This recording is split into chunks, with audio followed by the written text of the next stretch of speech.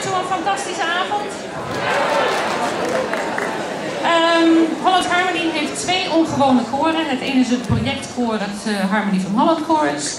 En het tweede is geen projectkoor meer. Het is gewoon een vast één keer in de maand koor geworden, bestaande uit dames die in een kwartet zingen of dan wel in een kwartet gezongen hebben. En uh, ja, daar staan we dan vanavond heel onverwacht. Op de laatste repetitie, nog geen 14 dagen geleden, werd ineens besloten dat wij dit gingen doen. Super spannend. Uh, we gaan naar Spanje. Uh, over drie weken om daar Holland Harmony te vertegenwoordigen en om zelfs in de internationale competitie mee te doen. Um, we gaan beginnen met een nummer wat we vreselijk graag willen zingen. En waar we, nou, misschien twee uurtjes aan besteed hebben. Dus uh, het, is, uh, het is een beetje spannend, zeg maar. Dus ik hoop op al jullie vriendschap en enthousiasme. Ik uh, kondig nu aan, en dan moet ik als de donder naar achter, want ik zing ook mee. Um, Mixed Q onder leiding van Stuart Science.